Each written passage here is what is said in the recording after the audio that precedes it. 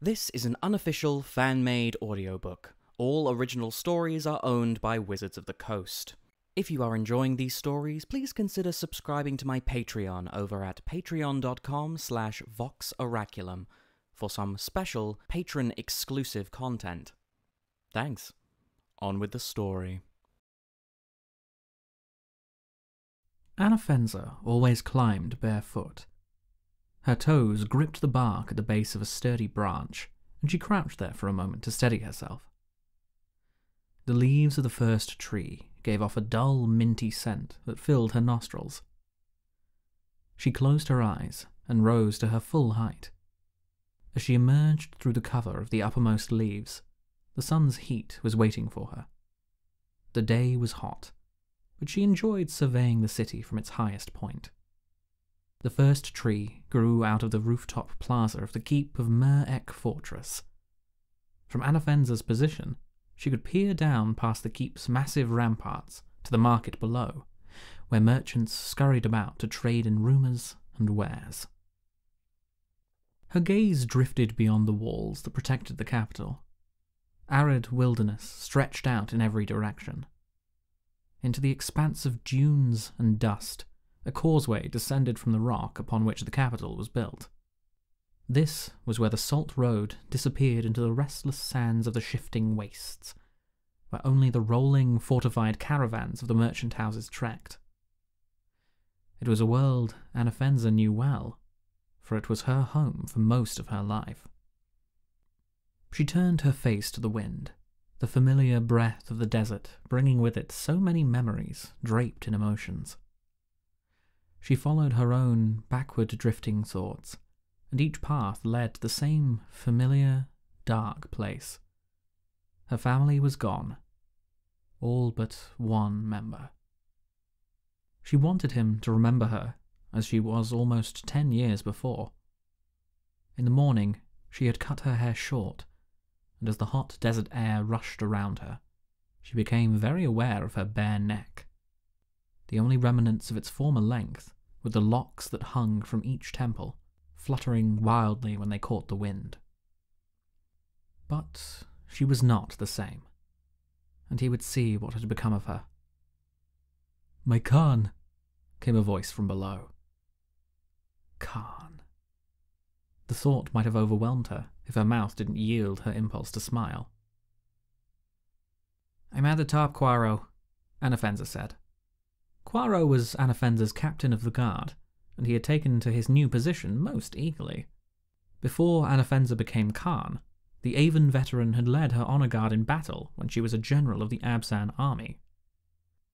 Despite Anafenza's protests, he insisted in maintaining formalities with the new Khan, and every time he addressed her, it was either prefaced or punctuated by my Khan. It was endearing to a certain degree. What news?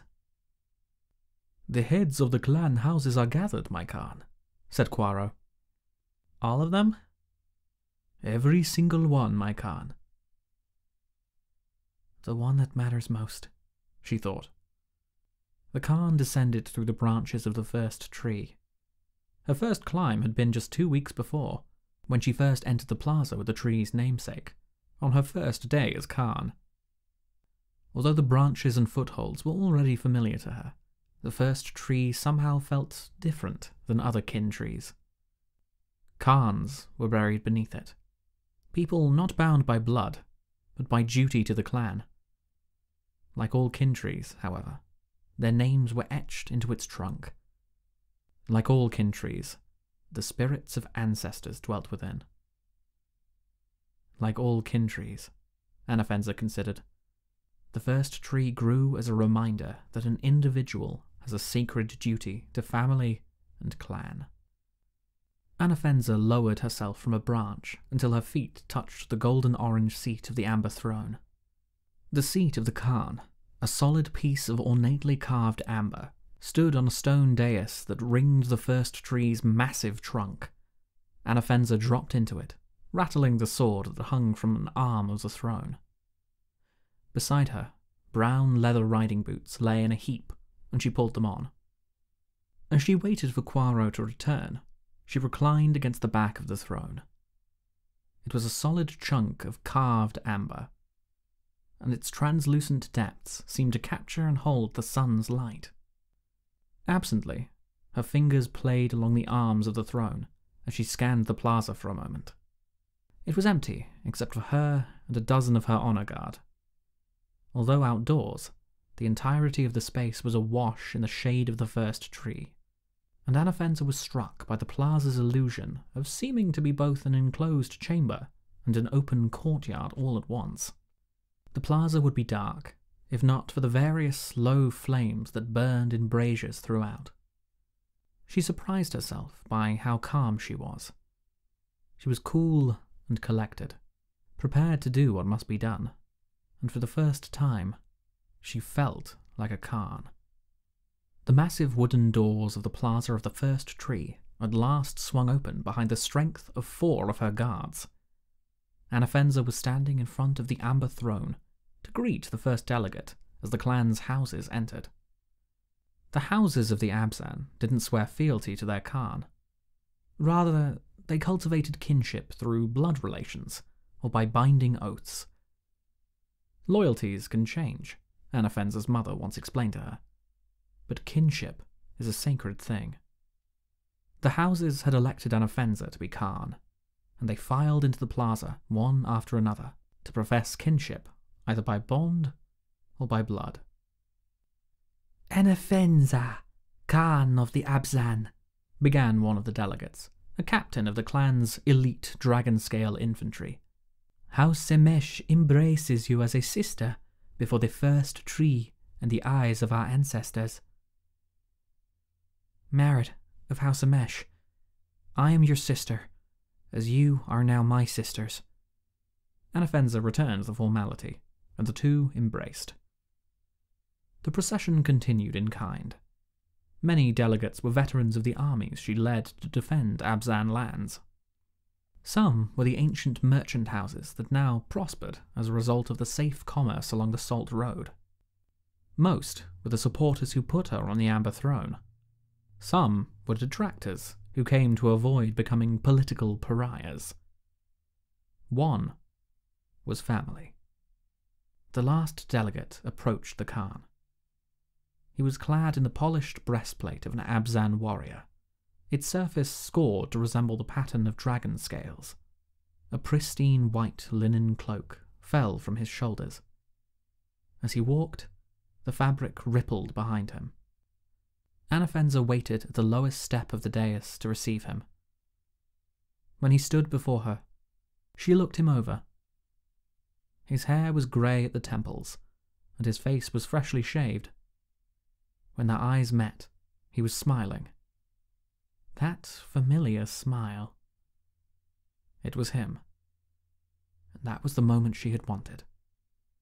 The one she craved. The one she fantasized into foregone certainty. She held his gaze in silence. She waited for it. His smile faded, and his eyes grew wide recognition, then fear. Her smile emerged. You look well. Prosperous, Anafenza said. Trade is good? The man just stared, his mouth slightly agape.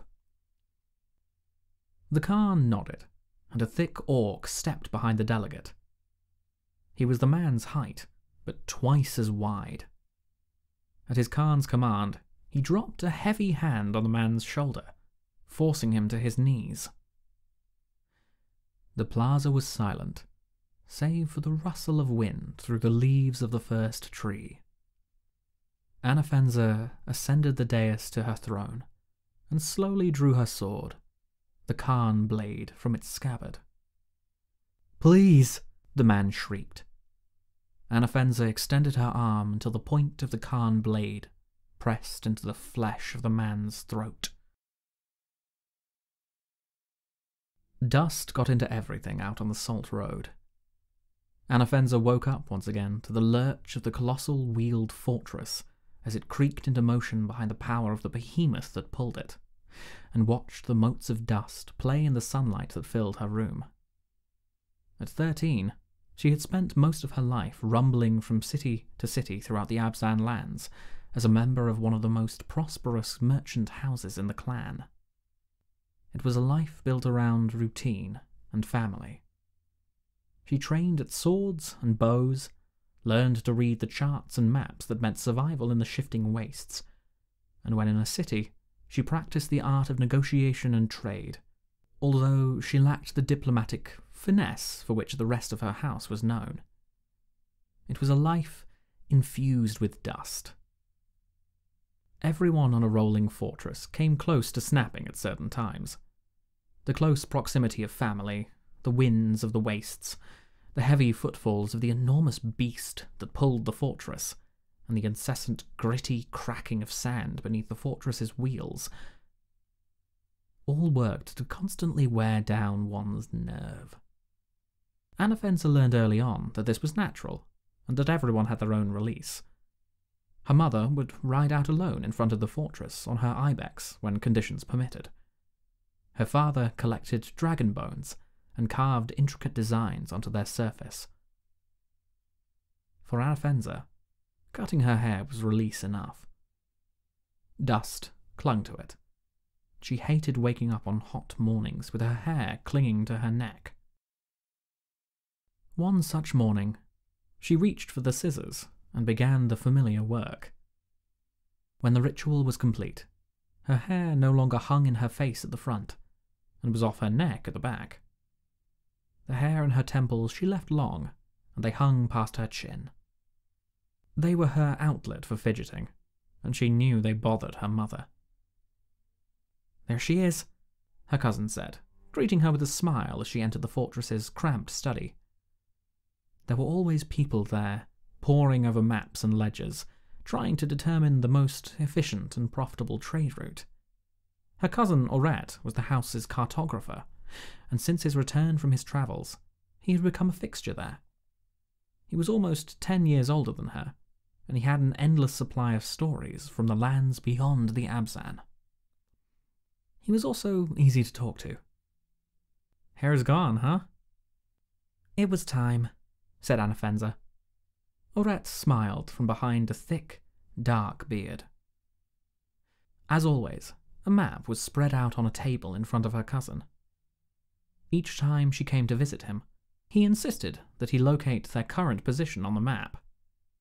She was good at it, most of the time. We're two days from Arashin by way of the Salt Road out of, uh. What city were we just at? Anafenza twisted up her face and closed her eyes in concentration. All the cities blurred together for her during long trade expeditions. Kavar, came a low, gravelly voice that didn't belong to her cousin. Two days from Arashin, by way of the Salt Road out of Kavar. Anafenza didn't have time to open her eyes to know who spoke, but she did, if only to roll them. Gavar Barzil. The name grated on her. It always had. Gvar was a Krumar, which meant he was not born in the Abzan. Rather, he was the leftover of an Abzan battle against the Mardu clan, where the Mardu were the losers. Custom dictated that the Abzan care for the children of enemies killed in battle. Gvar, accordingly, returned home with one of Anafenza's uncles after the battle where his son, her favourite cousin, was killed. Kavar's where I bought these, said Gavar. He held out a bowl of grapes to Anafenza, who pretended she didn't notice. Gavar and Anafenza were close in age, and therefore they were expected to be friends. Very good, Gavar, came Auret's approval when he placed a carved wooden model of the fortress correctly on the map. To Anafenza's relief, she didn't have to listen to Gavar open his mouth again because the trio in the study turned their attention to the arrival of Anna Anafenza's mother, father, and one of her many uncles. They were in the middle of a deep discussion. Are we not in the business of trade? We should go where business is good. Are we not in the business of trade? We should go where business is good, said Anna Anafenza's mother, her voice thick with exasperation. Her uncle held up his hands to playfully shield his face from the assault. We've already conceded, he said. Let's just consult our cartographer, her father added. About what? said Aret, clearly amused at his elder's display. A rider arrived.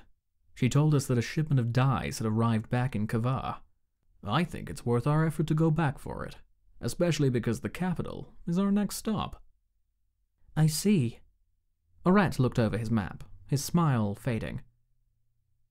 You know that Arashin is only two days away, Anafenza threw in. Two days away, repeated Aret. Dust storms look to be building behind us. I must insist we continue to the capital.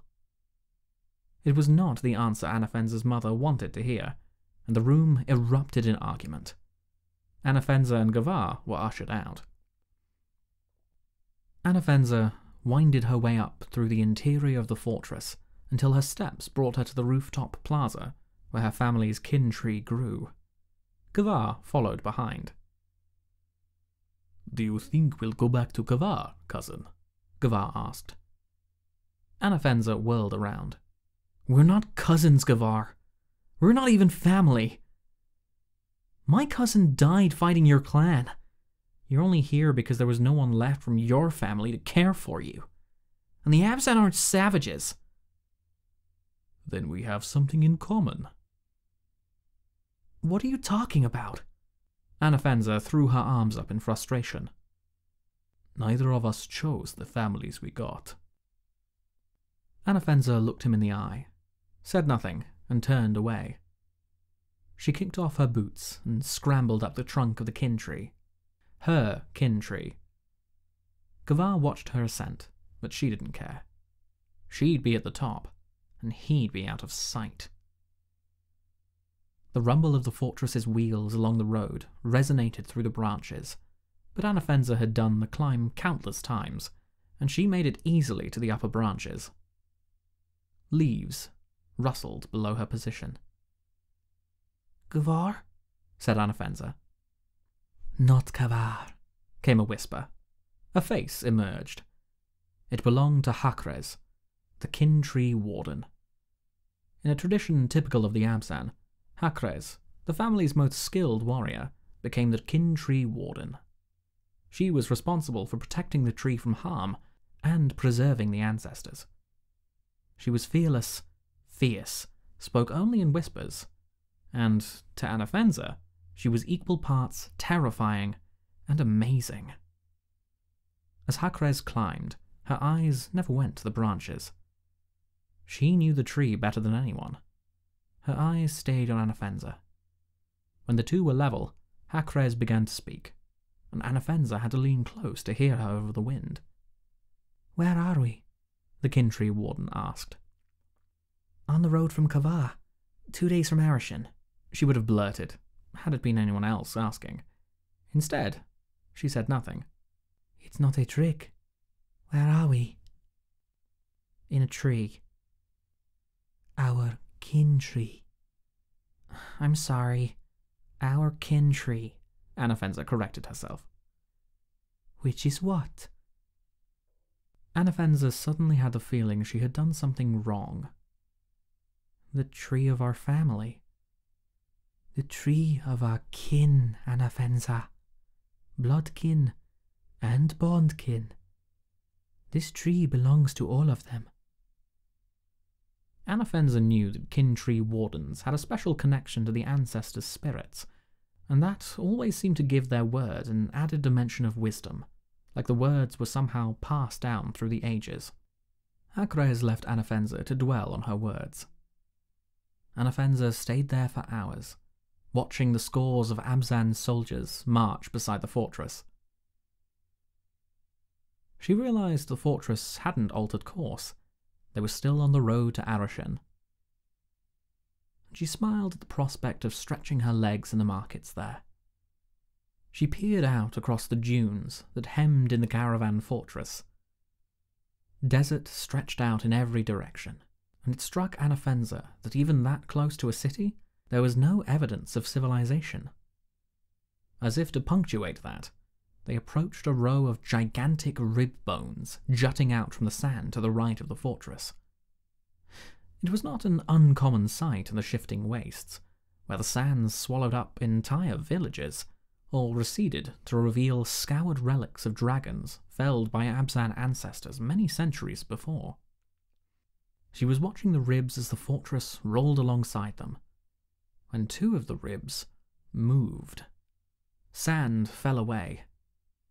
The dune looked to be collapsing in on itself at first, until Anafenza saw something was rising out of the sand. Matted black fur emerged, and Anafenza's jaw hung open. Her gaze fixed on the rising shape. She was frozen with dread. Not dragon ribs. Tusks. An enormous head followed, its skull only half covered by strips of rotting flesh, and then a trunk. Anafenza was not the only one to notice, and shouts of warning could be heard throughout the height of the fortress. Below, the infantry escort fell into a defensive position. By the time the animated corpse of the mastodon rose to its full height, three more were rising from the sand. The stench of death must have spooked the behemoth that drew the fortress, because it bellowed and stomped. Then, chaos erupted. The sand between the mastodons seemed to burst into flame in dozens of places at once. Spheres of light with trails of orange energy skimmed the surface of the sand down the fortress. The spheres gave way to reveal countless warriors who descended upon the frightened behemoth. Ambush! Came a voice from the plaza below the kin tree. A Sultai war party! Anafenza saw dozens of archers take positions in the parapet. Arrows flew from their bows, and the Sultai warriors dispersed to avoid the volley. The mastodons lumbered toward the fortress, and the soldiers below were forced to scatter. In the kin tree, Anafenza felt a sudden whoosh of wind. Dust whirled about before settling into the shape of three humans, clad in the heavy armor of the Abzan. Ancestors. They acknowledged Anafenza with a nod, and streaked toward one of the massive, shambling undead horrors, tearing into it with their spirit weapons. The mastodon collapsed, but the others were at the fortress. The first one slammed into a wall with enough force to split its own skull. Anafenza was almost thrown from the kin tree, but she was able to cling to the branches and balance herself just before the next mastodon crashed in. The world shook. Another impact. Anafenza couldn't focus. Everything went sideways, and the salt road rushed up toward her. A moment later, Anafenza was sprawled out on the sand. She lay there, dazed. A heartbeat before, she towered over the sand, and now her face was buried in it. The sounds of violence rang in her skull. She willed the muscles in her neck to turn her head, but searing pain flashed across her cheek as it slid across the gritty sand. She reached up to soothe the pain, and her hand came away sticky and red. She rolled onto her back and looked down at the tops of her bare feet, which were cut up the way she imagined her face must have been. Beyond, the fortress lay on its side, and beside her, the shattered remnants of the kin tree. The jolt of the fall had torn it free of its soil, and it split upon impact. Broken branches and broken soldiers were scattered all around. Beneath the heavy bow, Anafenza recognized the lifeless body of Hakres, the kin tree warden, whose breastplate was caved in. Anafenza's mind raced to pass what had happened, and she remembered the mastodons. The blare of a horn brought Anafenza back. Her muscles surged with energy, and she rose to her feet to see the Sultai retreating beyond the dunes. Cheers did not follow the horn blast, however, and the air remained thick with the sounds of slaughter. Anafenza circled around the fallen fortress to find the commotion, hoping to see the soldiers of her house finishing off the last of the mastodons. There were screams, though, human ones, and she approached carefully. When she came around a corner, her world fell to pieces. The scene that unfolded before her was a violation against nature. There was a wrongness in it that pricked at both her flesh and her guts. She saw Abzan butchering Abzan. People were trying to scramble out of the fortress through its narrow windows, but before they could get clear, Abzan's soldiers were cutting their kin down with sword, axe, and halberd. Mother! Father! she screamed. Red, please! Eyes wide and streaming with tears, Anafenza knelt to scoop up the sword of a dead soldier. When she rose once more, a figure, silhouetted against the sun, loomed over her. Your parents are dead, as is my bondfather. Through clouded vision, Anafenza recognized Gavar, who bled from a gash at the corner of his eye. Anafenza ignored the orc and pushed past him. Anafenza, we were betrayed. Gavar stepped in front of her again. We have to get out of here. The word caught in the orc's mouth as he suddenly lurched forward, nearly knocking Anafenza to the ground. And Anafenza saw the feathered shaft of an arrow protruding from his shoulder. More arrows fell around them. Ancestors damn you, Gavar. Anafenza grunted as she helped lift him to his feet. Let's go. They made for the cover of the shifting wastes and kept going. For the better part of the day, they walked in silence. Each step through the sand was an effort, but they continued onward, away from the carnage behind them. The hot sand scorched the soles of Anafenza's bare feet, and the sword that rested on her shoulder seemed to get heavier with each footfall. Want one? What? said Anafenza, her voice cracking as the word left her parched mouth. Gavar's big fist opened to reveal a small mound of crimson grapes. Eat some, he said. Anafenza stopped and stared in disbelief at the fruit, and then at Gavar. The orc shrugged his shoulders, wincing slightly at the pain. I know, I know. Just take them. Thank you, she said between grapes. Gavar smiled and tossed the last grape into his mouth, and the pair resumed their march. As they crested each dune, they hoped to find some indication of civilization. On the road, they were two days from the capital. But across the shifting wastes, there was no certainty. Do you still admire the Abzan? Anafenza's voice was tinged with bitterness. Is it the Mardu who are the savages? She looked at Gavar, who didn't answer. He kept his eyes forward, shielding them from the dust. Gavar, Anafenza insisted. You know, Gavar said at last. I am Abzan, because when I was a child, an Abzan warrior, your uncle, killed my blood parents in battle and left me with nobody. Your uncle took me into his house and raised me. Had it been the other way round, had I been born Abzan, and Mardu warriors killed my Abzan parents, I would have been killed with them. He turned to Anafenza. Our house was betrayed, but our clan will demand justice. They walked until the sun hung low in the cloudless sky. Wind began to pick up, and sand beat mercilessly against any exposed skin. Another dune. Another dune. At the top, Anafenza peered into the quickly dimming haze. Through squinted eyes, she was able to make out a vague but unmistakable straight horizontal line that ran parallel to the ground. A wall! she blurted. Gavar, look! Your ancestors must love you.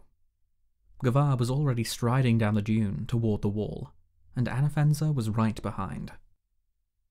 The wall surrounded an abandoned village, and by the time they passed through a crumbling gate, the edge of the sky was a brilliant orange.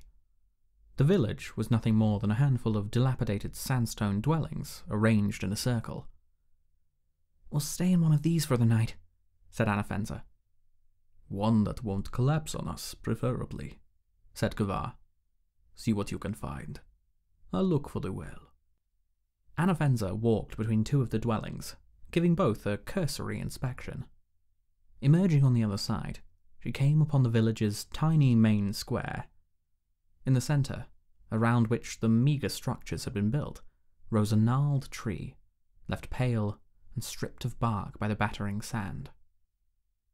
With each gust of wind, its leafless branches clattered. The sight of the abandoned tree against the darkening sky was too much. Anafenza ran over to it, letting her sword drop before collapsing in the sand that had gathered in a pile, obscuring its roots. All she could see was her kin tree, splintered and dead. Her family was gone. She pressed her forehead against the trunk and stifled a scream in the crook of her arm. Tears came, and they stung her wounded cheeks as they slid down her face. She stayed there until the sun was gone, until she heard Gavar's shout. We would have followed, he yelled. Go! Gavar!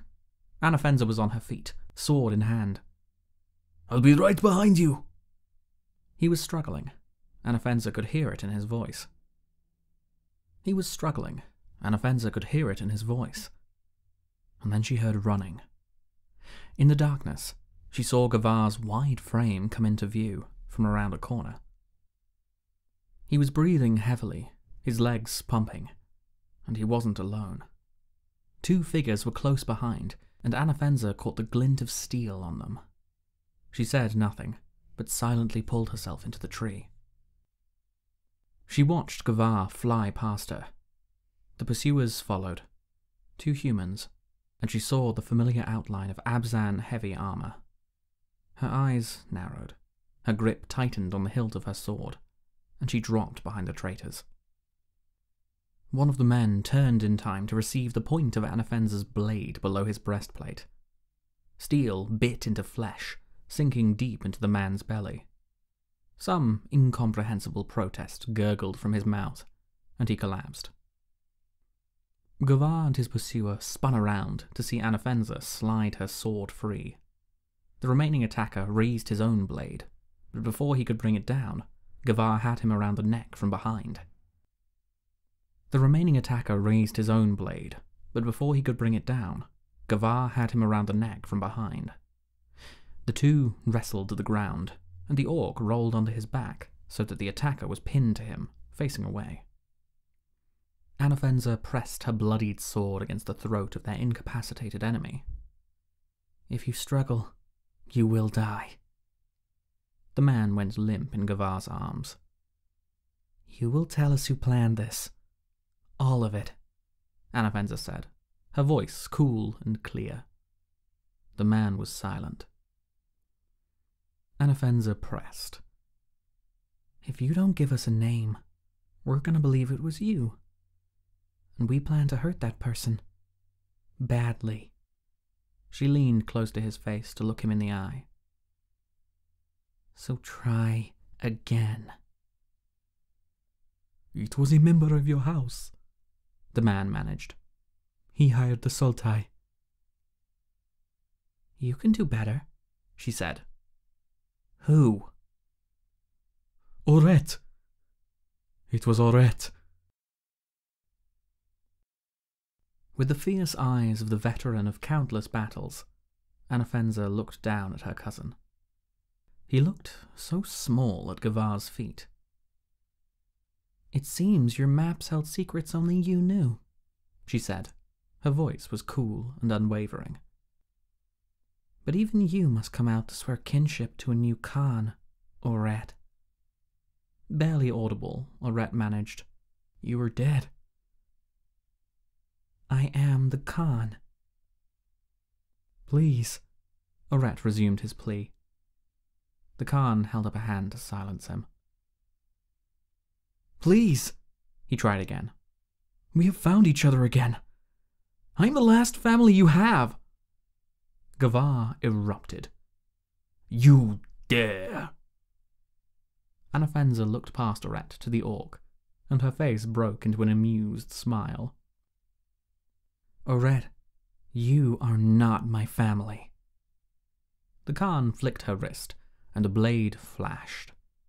A red line appeared at the side of his face, from ear to chin, and Oret screamed. His blood clung to the tip of the Khan blade, and she held it over one of the lit braziers at the base of the dais. The blood popped and sizzled in the heat. She turned the sword edge skyward. She proceeded to drag her own hand along its sharpness. Without shifting her gaze from Oret, she held her fist over the flame and squeezed. Blood dripped out, hissing when it hit the burning coals.